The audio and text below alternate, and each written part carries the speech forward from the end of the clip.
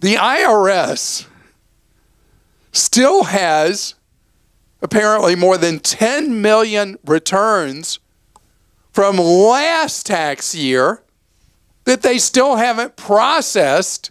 And here we are in February in the next tax year. So people who filed last year for 21 millions still haven't had their returns processed. In fact, at one point, the end of last year, there were maybe more than 30 million unprocessed returns. You try to call the IRS, your chances of reaching an actual live human got about a 1 in 10 chance, maybe even after multiple phone calls. I mean, this is a mess. And, you know, there's been a lot of fuss about the money that the U.S. House wants to strike from the IRS's budget because they're uh, doing a targeted enforcement program with additional money that Congress allocated last year to go after tax cheats. But what about just taking care of regular taxpayers? Okay, how much of the money in the new allocation that Congress passed, according to the Wall Street Journal, all right, you're going to love this. 4% of the money is going to improve customer service at the IRS. Almost all the rest is for either updating computer systems or for the new enforcement effort going after tax cheats. So we got to come up with a better way. You know, we are, with the way we handle income taxes, we are the definition of insanity. Doing the same thing year after year and expecting a different result. Absolutely bonkers. Okay, so I want to share something with you from research done by Barron's. How many countries have gone to something I first talked about, gosh, I, I guess 10, 15 years ago. What's known as return free filing. I mean, Christa, that was so long ago, and us working together on the then radio show. Right.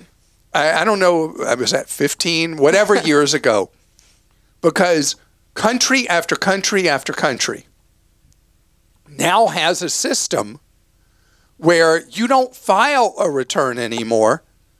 You just get a refund or a bill with, with a detail of the explanation of why you got the refund, looking at your, it's almost like a, a spreadsheet showing this was your income from this, this was your income from that, this was your income from the other thing and this was the money you had withheld.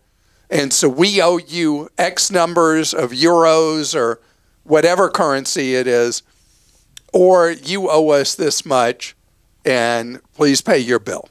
Sounds simple. Sounds simple. So simple that 36 countries now do this. I talked about it when it first started, and guess what? When did it start in the first country to offer return free tax filing? What country is it? Well, first of all, it was the United Kingdom. Okay. And when did they start it? I wasn't even born yet. Oh, wow.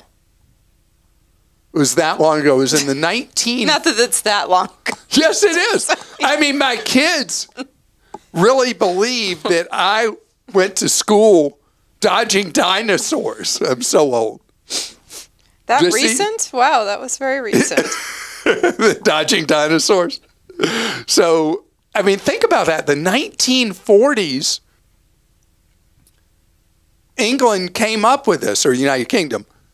And now country after country after country but us. Okay, so here's the funniest thing.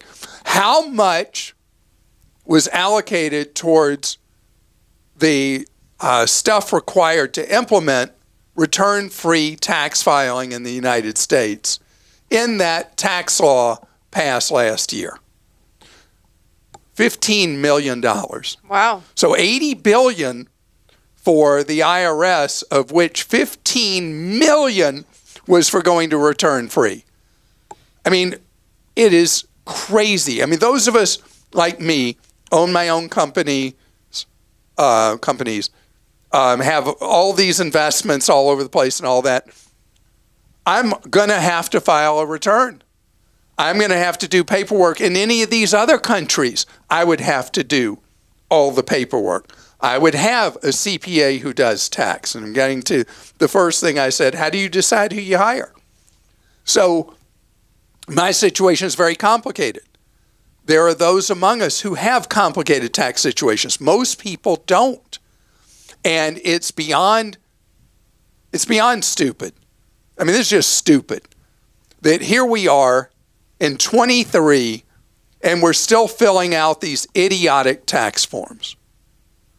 Because I would say 80 plus percent of people could do return free. And, and I know there are people in the United States who worry that the government would cheat us on calculating our tax, but that's why the documentation provided back to you with your refund or your tax bill is key.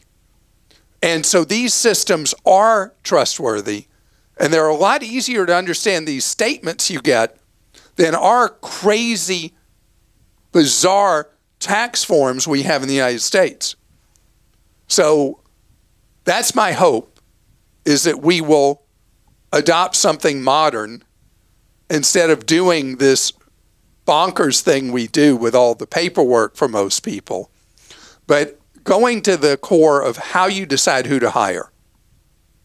If you have a complicated situation, you have a lot of investments, uh, you have things going on in your life that involve a lot of additional schedules. You give a great deal of money to charity, a variety of things. You would benefit potentially from tax planning.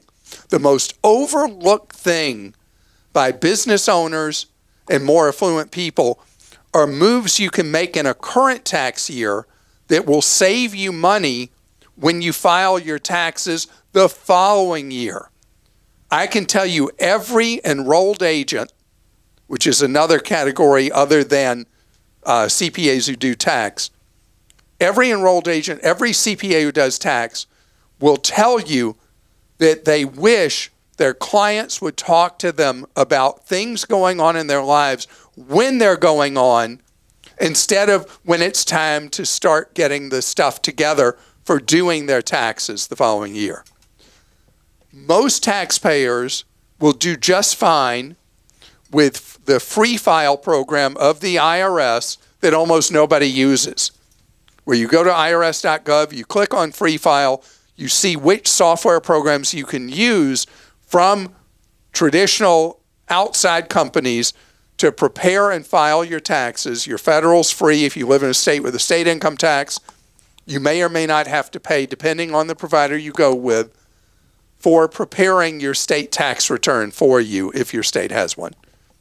And so the people who need professional help are people with complexity. If you don't have complexity, you're fine almost always with the free file software that is good for most income earners. Beyond that, you can buy tax software and it's not expensive to prepare your return.